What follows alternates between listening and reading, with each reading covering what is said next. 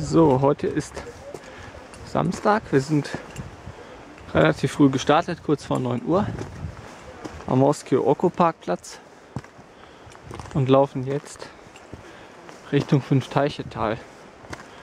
Wie man sieht, ist der Anstieg etwas anspruchsvoller, aber ich kann es auch problemlos ohne Stöcke laufen. Also das geht schon.